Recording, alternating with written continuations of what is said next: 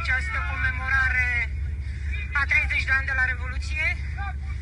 Organizația lui Ion Iliescu organiza concert, Petre Roman a venit să depună coroană și Gelu Voican Voiculescu a venit și el printre supraviețuitorii Revoluției și printre rude.